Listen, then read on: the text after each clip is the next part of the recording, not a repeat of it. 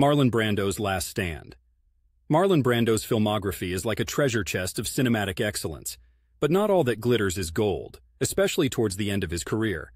Now, good is subjective, but if we're talking about the last flick that truly captured a slice of Brando's legendary acting prowess, I'd point to The Score, 2001. Directed by Frank Oz, this heist film brings together an impressive ensemble.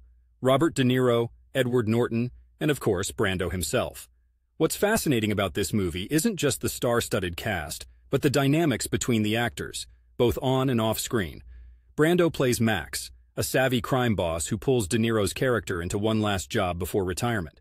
It's a role that fits him like a glove, effortless charisma with a touch of that Brando mystery.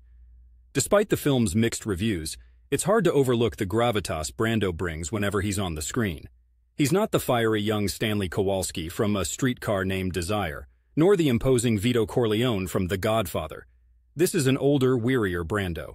Yet his performance in The Score has moments where his talent still shines brightly, giving us a glimpse of why he's one of the greats.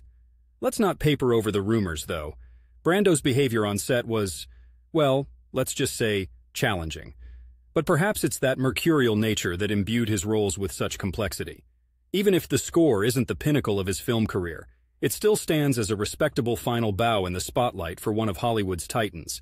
Life is a lot like Brando's filmography. It has its peaks and valleys, and while not every moment can be on the waterfront, there's merit to be found even in the twilight efforts.